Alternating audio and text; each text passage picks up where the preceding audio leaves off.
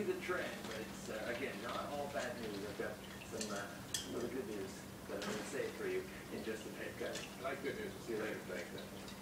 Hot temperatures, a cool breeze coming off the lake, a perfect night to spend at Ontario Place. Except you can't. The iconic park down by the lake remains closed while plans continue, of course, for a major overhaul. Today, we got a first glimpse of what those plans might include. Global's Aaron